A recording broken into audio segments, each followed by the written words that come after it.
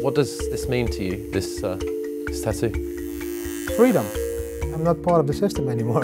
For me, it just stands for a huge change in my life because of Bitcoin. This is Didi Taihuttu. Today, he isn't just inking his forearm with his favourite currency, he's branding himself with the symbol of what he sees as a movement. Last fall, when Didi got the tattoo, we were in the middle of the Bitcoin frenzy. Bitcoin was everywhere, and Didi and many others were convinced that a financial revolution is not just inevitable, but that it was already there. Bitcoin. Bitcoin. Bitcoin. Bitcoin. Bitcoin. At the time, Bitcoin seemed unstoppable, hitting new highs almost weekly. A bunch of Bitcoin enthusiasts went all in and tied their fate to Bitcoins. Didi is one of them. One of the most beautiful beaches in Koh Samui. But what happens when a currency you have bet everything on starts to crash? Yeah, we lost more than 500k. Officially, we don't live in the Netherlands. We are registered in Holland as um, homeless people.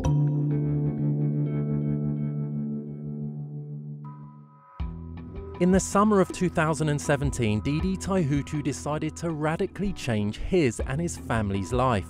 He wanted to downsize and live a minimalistic lifestyle with few possessions. The vehicle to finance this new life, he decided, would be cryptocurrencies. Taihuttu sold almost all of his possessions and invested that money in Bitcoin. I can buy Lamborghinis with crypto, I can buy houses with crypto, I can buy groceries with crypto, I can buy my pizza with crypto. Didi began buying most of his bitcoins when the price was around $1,000 in February last year. He continued to put money in up until that November. Around the same time, Bitcoin had skyrocketed to nearly $10,000. But why would someone sell all their possessions, invest everything in Bitcoin, and move into a trailer park? This promo video for Didi's old company might be a clue. Didi used to run a private institute teaching folks basic software applications. I spent 10 years of my life I spent in this building.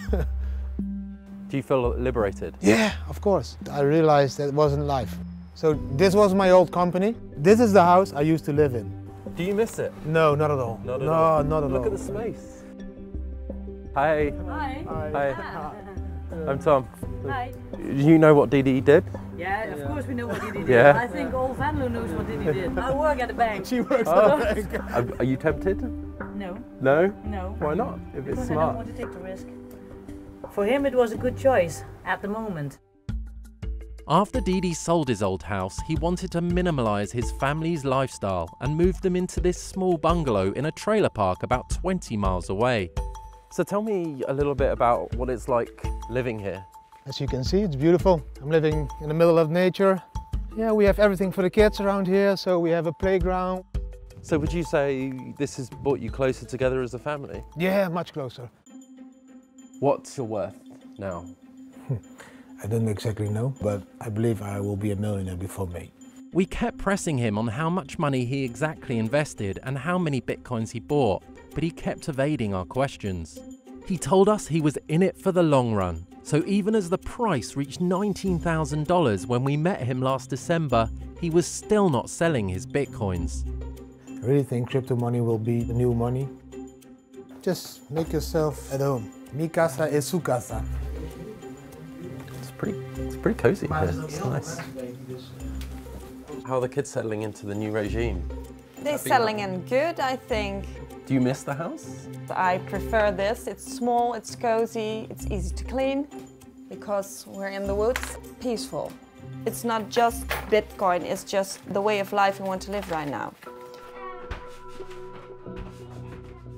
When I first met with Didi, his decision seemed reckless. It is one thing to gamble on your future, but to do so with that of your wife and three children seemed a bit much. It turns out there was another reason for Didi to sell most of his possessions and leave his old life behind. It started with a call from his dad four years ago.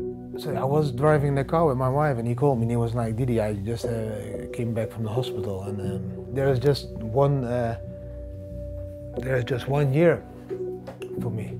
So at that point, you realize uh, life can go very fast.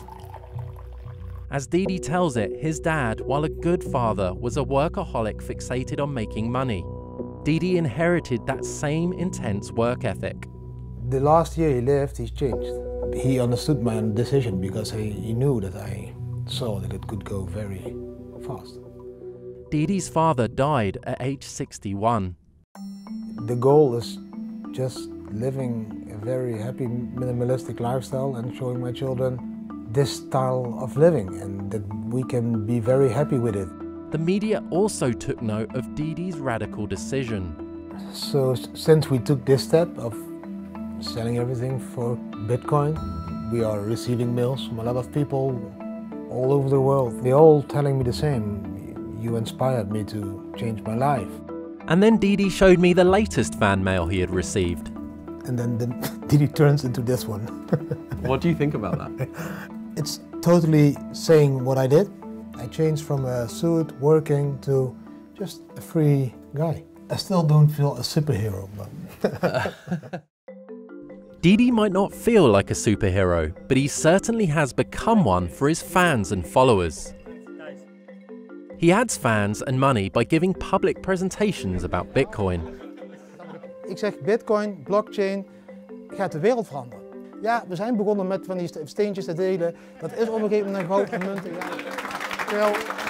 Dankjewel te luisteren. Dee's radical investment strategy has clearly made him a darling with this crowd. But amidst all this talk of investing in Bitcoin, there was no mention of the elephant in the room the bubble.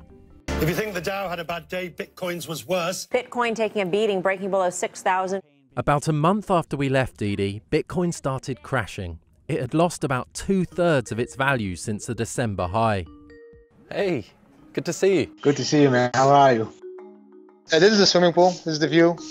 Looks looks really nice. Yeah, it's really nice. It's really cheap as well. We were surprised to find him in Thailand in good spirits. One of the most beautiful beaches in Koh Samui. Didi and his family have been living in a beachside hostel for the past four months uh, when we left Holland, the price of Bitcoin was going to the, the highest it's been, and you, you were convinced it was going to 25k, but then it dropped. There's a shock a little bit. Okay, wow, this is a 50% drop. This one is huge. But then we are in it for the long term. So, in our opinion, we will reach a new all-time high this year. You know, when when it was at its peak, how much do you think you've lost since then? 60%, but we still have the same amount of bitcoins. A ballpark figure. this is fishing. Fishing.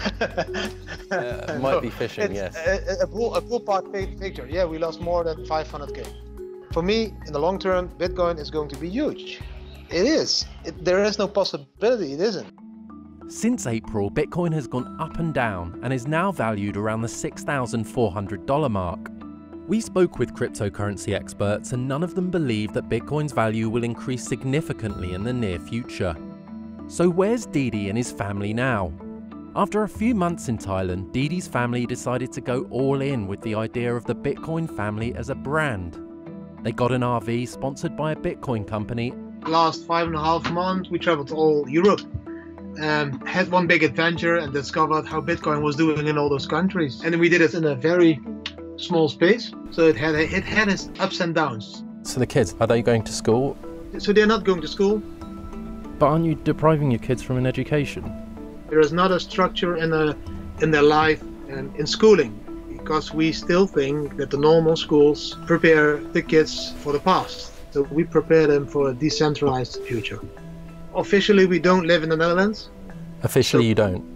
No, officially we are we are registered in Holland as um, homeless people. You're registered as homeless people. Didi told us his family is doing this to evade the Dutch authorities from going after them for taking their kids out of school. When we spoke on Skype, you said that Bitcoin was going to be 20k by the end of this year. Do you still think that's going to happen? I, I still think it's going to end between 15 and 20k this year. But like, do you have another end game in mind with where you're going with all the Bitcoin family stuff, or the sponsorship, or the advisory, anything like that? No, not really. Uh, we don't have an end game. We don't have an exit game. We don't have an exit plan. We don't have anything. My goal wasn't to become a millionaire. My goal was to change life. Uh, I changed this life. I achieved um, this change in my life, and I'm very happy with it.